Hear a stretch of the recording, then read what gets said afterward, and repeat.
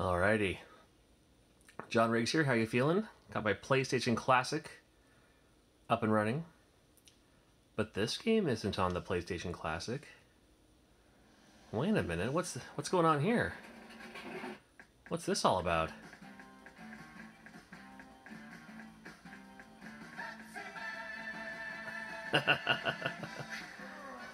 yeah, they made a Pepsi Man game in uh, Japan. It's actually pretty fun too. Let me let me play a little bit of this, and I'll show you how you can access your own. Uh, I love the old FMVs. Hey, let's start the game. So you can play ISOs off of a thumb drive, like a USB drive, with a couple of things. I'll show you how to do that here right quick, or at least point you in the right direction. You got here just at the But first, I gotta play me some Pepsi Man, just for a second anyway. It's been a long time since I played this last.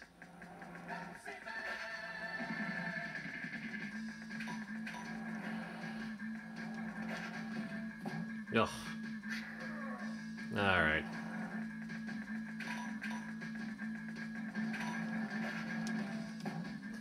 anyway, there's also a script as part of this.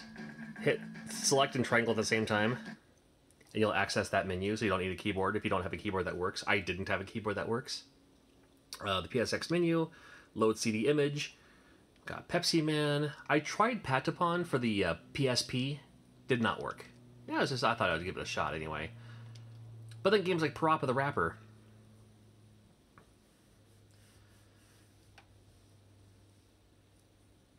Doesn't seem to be one working either. It was working a second ago. There we go, a little Castlevania Symphony of the Night. That was one of the biggest complaints. I was like, ah, you don't have to have Castlevania on here. Come on now. How you gonna have a PlayStation Classic not include Castlevania Symphony of the Night? Arguably the best Castlevania game of all Castlevania games.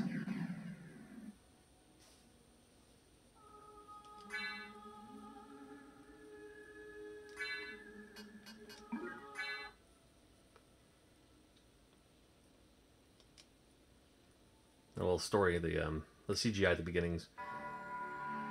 A little dated by today's standards, but still pretty cool.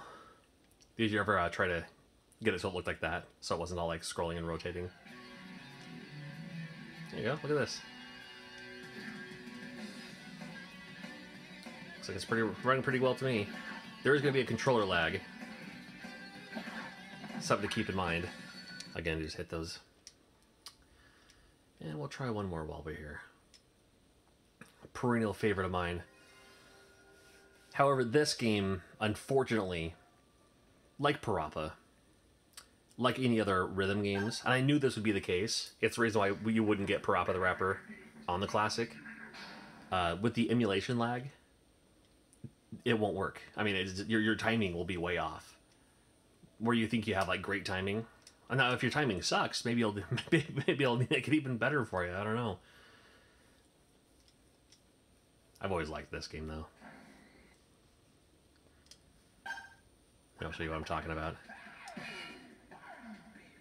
That's right.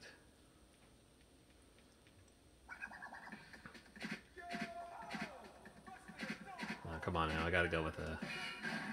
Gotta go with Hero. Hero Kun, he's called in the Japanese one. That's when he says Hero. Alright. And you have to hit the button on the fourth beat. I'll show you here in the corner about how the timing works. Watch this. See. But if I do it like a half of a step, see what I mean?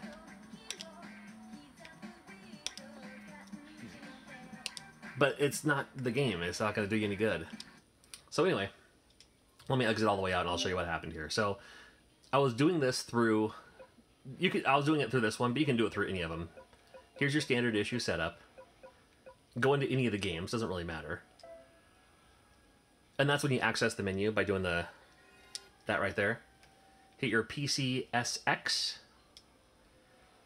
Get you some couple of options here. And then you load the CD image. Now when you load the CD image, it has, you know, file names. And in the link I'll show you, and I, I saw this from a few different sources, a couple of YouTube channels, on Reddit as well, and I wasn't actually going to play with this yet, um, because it's still unstable, and it's still like not optimal. Like I'd like it to see like the the menu screen with all the pictures of the games, you know, like the album covers and all that, the CD covers. I was hoping something like that would happen sooner than later. Um, I didn't really want to mess with it too much until it was a little bit more optimized. But then when I saw a couple of channels, um, Mad Little Pixel being one of them, saying that he played around with it a bunch and you know didn't have a whole lot of issue. I was like, oh, you know what? If you know if he's getting around to it and checking it out, I may as well too. And there's a couple of other YouTube channels. I'm certainly not the first. Um, I remember seeing it on Reddit, I think yesterday. Um, but I was like, ah, I'll get to it later. I'm playing Smash, you know. um, in fact, I'll link to Mad Little Pixels channel um, just because he has two videos on how to get it set up. Because it's a file you download, you put it on uh, put it on a USB drive, you download the file, put it on a USB drive, um, upzip, unzip the uh, zip file, and then you um, can load your games into it. Now you can load one game with the album cover, so it actually shows up, like it actually says, you know, Castlevania Symphony of the Night right on the screen. Um, or you can do it this way, and I'm okay doing it this way. So you can do like left and right. We'll choose your thing. So you want to go to the. Uh, I was just in media. And then over here, never mind my other thing. Like here's my, my you know, this is the same thumb drive I use for my PlayStation 4. None of, the, none of this is going to work, right? Um, we have the games, and then there's the 21 folder, and then this is where you put your games. Now, you got the bin file, which is basically the, the image, and then the cue file is the what tells the game where to go. So these aren't going to load up for you. Do that, they'll say, uh, no, unsupported. So you got to go back to games. And never mind the fact that I have a little star folder. If you know why I have that, then shout out to you. I had to at least test it out for myself, you know. Uh, bin, bin, bin. That was another PSP file. Didn't work, so I was like, man, there's got to be a way to play PSP games on here. Maybe there still is. I don't know. All right, so we have the bins. Then we have the ISO, and the ISO worked. That's that's what I loaded uh, Pepsi Man from. More bins. And then we have the cue. That's where I had that one. Then there's Castlevania. There's Parappa. Same idea with Bust a Groove. I mean, I could load it up, but it's not going to do any good. Um, although you can see where the delay is. Uh, it's a good it's a good half a second delay, so it's going to throw you off every time. But then here's this cue. Let's see if I can load this up.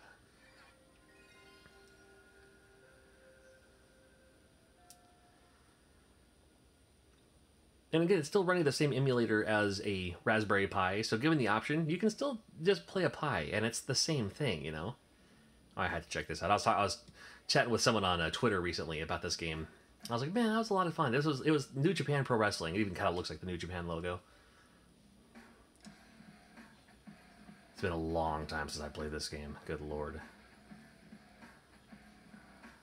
Sure. So, but then your um, your characters like Chain Gang, Malibu Mike. I think that was um, you know, uh, know, like there's Tenzan probably.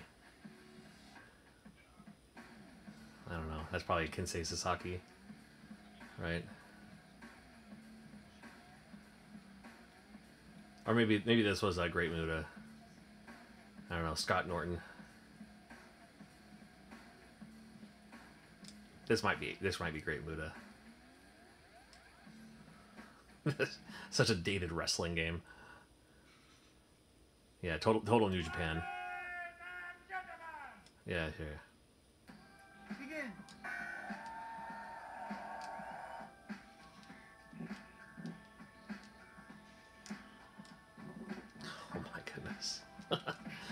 But uh, the uh, the PlayStation SmackDown games are really good on here.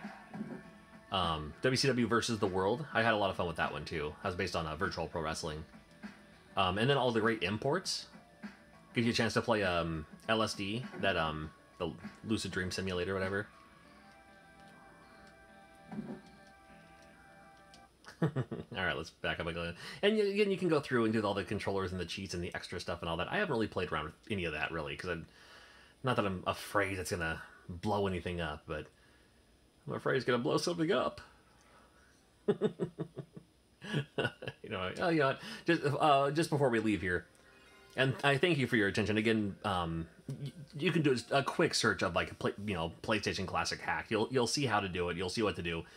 You don't have to open up anything. It's super easy to do. All it takes is a, a USB drive to download that file, and then find your own ROMs. That's up to you, really.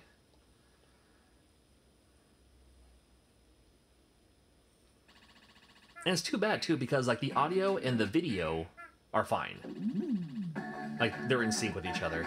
Oh, that's a little sketchy. little freeze there. Gonna, gonna prove me wrong, right?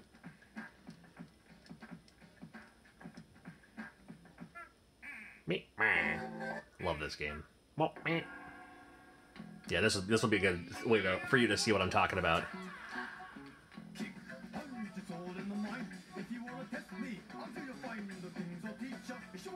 So watch watch when I hit the button. See?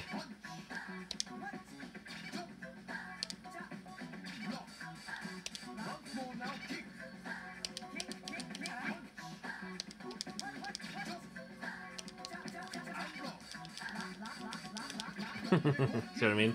All right, so thanks for watching. And again, link in the description below if you want to see how to do it yourself. Thank you. Take care, buddy.